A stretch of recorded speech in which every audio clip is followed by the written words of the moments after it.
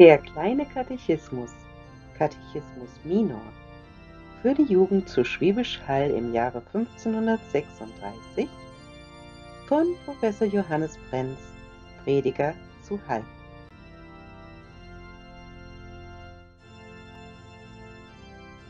Erster Korinther 14 Werdet nicht Kinder am Verständnis, sondern an der Bosheit seid Kinder an dem Verständnis aber seid vollkommen.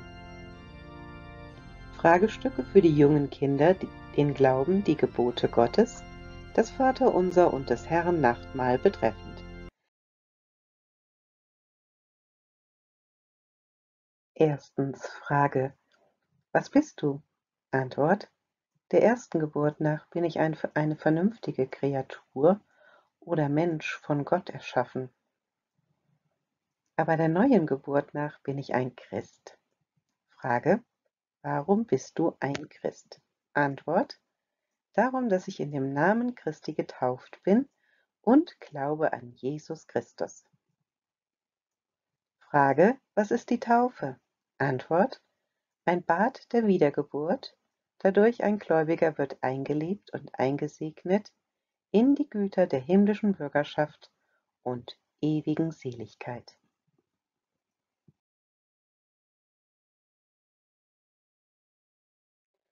Frage: Was glaubst du? Antwort: Der erste Artikel. Ich glaube an Gott, den allmächtigen Vater, Erschaffer Himmels und der Erde. Der zweite Artikel. Und an Jesum Christum, seinen einigen Sohn, unseren Herrn. Der dritte Artikel. Der empfangen ist von dem Heiligen Geist, geboren aus Maria der Jungfrau. Der vierte Artikel, der gelitten hat unter Pontius Pilatus, gekreuzigt, gestorben und begraben. Der fünfte Artikel, er ist hinabgestiegen zu der Hölle, am dritten Tage von den Toten auferstanden. Der sechste Artikel, er ist aufgestiegen in die Himmel, da sitzt er zu der Rechten Gottes seines allmächtigen Vaters.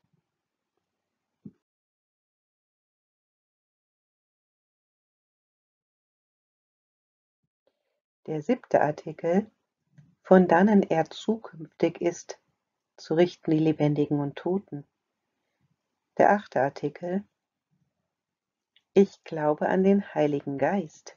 Der neunte Artikel, eine heilige christliche Kirche, eine Gemeinschaft der Heiligen. Der zehnte Artikel, Verzeihung der Sünden. Der elfte Artikel, Auferstehung des Fleisches der zwölfte Artikel und ein ewiges Leben.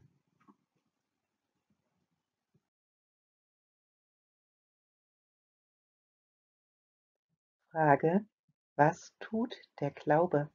Antwort, er macht einen neuen Menschen aus uns, dass wir fromm werden und nicht mehr wandeln in Sünden, sondern Recht tun, Unrecht lassen und erfüllen die Gebote Gottes.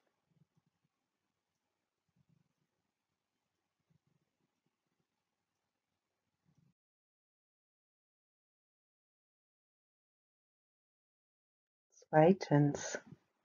Frage. Was sind die Gebote Gottes? Antwort. Das erste Gebot, du sollst glauben an einen Gott. Das zweite Gebot, Du sollst den Namen des Herrn nicht vergeblich in Mund nehmen. Das dritte Gebot, du sollst den Sabbat heiligen.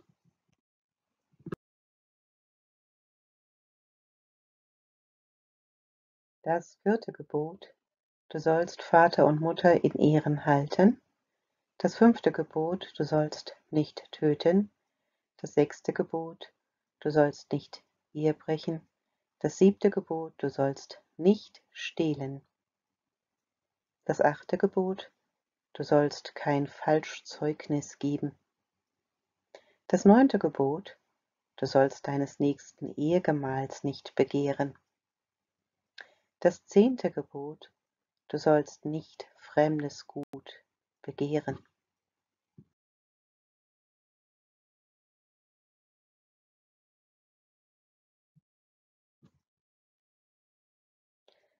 Frage. Wodurch erfüllen wir die Gebote Gottes? Aus unseren eigenen Kräften oder aus Kraft und Stärke der Gnade Gottes? Antwort. Aus der Kraft und Gnade Gottes. Drittens. Frage. Wie überkommt man aber die Gnade Gott des Herrn? Antwort. Mit dem Gebet durch unseren Herrn Jesus Christus. Denn er hat gesagt, was ihr den Vater bittet in meinem Namen, das wird er euch geben.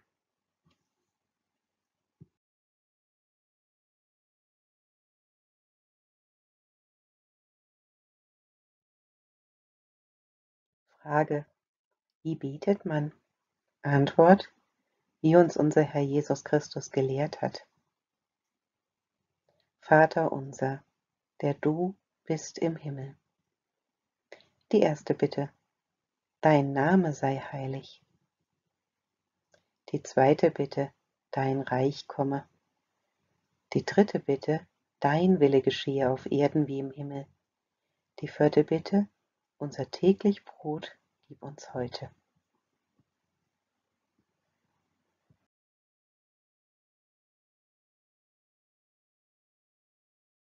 Die fünfte Bitte, und vergib uns unsere Schuld, wie wir unseren Schuldigern vergeben. Die sechste Bitte, führe uns nicht in Versuchung. Die siebte Bitte, sondern erlöse uns von dem Übel, denn dein ist das Reich, die Kraft und die Herrlichkeit in Ewigkeit. Amen.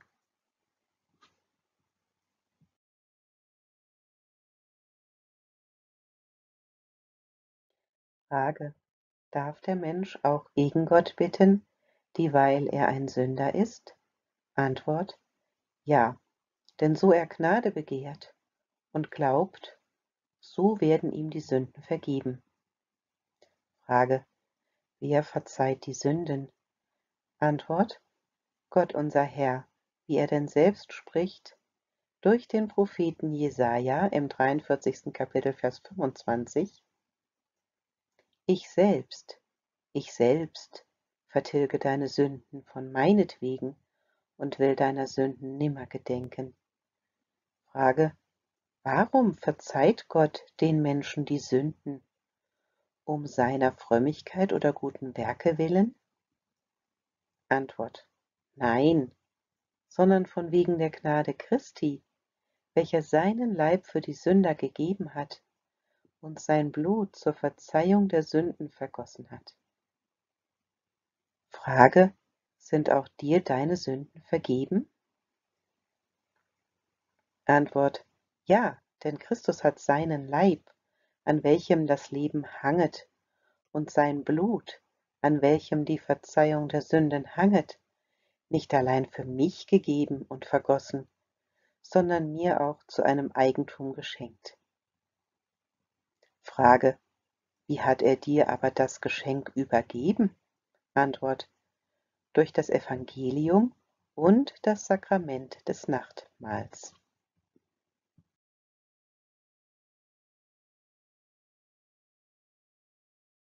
Viertens. Frage: Was ist das Nachtmahl?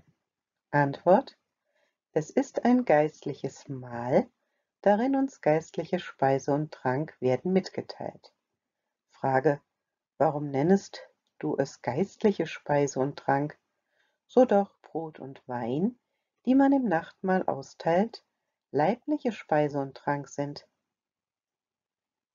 Antwort: So man will urteilen nach dem Geschmack des Mundes, so sind sie leiblich, aber dieweil unser Herr Jesus Christus das Brot des Abendmahls zu seinem wahrhaftigen Leib und den Wein zu seinem wahrhaftigen Blut durch sein göttlich allmächtig Wort gesegnet und verordnet hat, auf dass das Abendmahl nicht soll sein eine Speise des Leibes zur Fülle, sondern eine Speise der Seele zur Erhaltung der geistlichen Güter, uns durch die Taufe mitgeteilt und mit dem Glauben angenommen.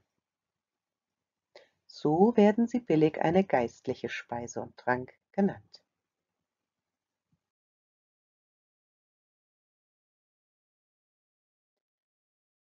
Frage: Wozu ist das Nachtmahl von Jesus Christus eingesetzt? Antwort: Es ist eingesetzt, dass man von wegen des gegenwärtigen Leibes und Bluts Christi soll dabei gedenken und verkündigen den Tod unseres Herrn Jesus Christus und aller der Guttaten, so uns durch den Tod Christi erworben sind. Frage: Woher weißt du solches? Antwort: Aus den Worten des Nachtmahls. Frage: Wie lauten die? Antwort: In der Nacht, da der Herr Jesus verraten ward und mit seinen Jüngern zu Tisch saß, da nahm er das Brot in seine heilige Hand, sagte Dank seinem himmlischen Vater, segnete es, brach es, gab seinen Jüngern und sprach, Nehmet hin und esset, das ist mein Leib, der für euch gegeben wird. Solches tut zu meinem Gedächtnis. Desgleichen nach dem Nachtmahl nahm er den Kelch in seine heilige Hand, dankte und sprach, Nehmet hin und trinket alle daraus. Das ist der Kelch des neuen und ewigen Testaments in meinem Blut, das für euch, für viele vergossen wird zur Vergebung der Sünden. Solches tut, so oft ihr es trinkt, zu meinem Gedächtnis.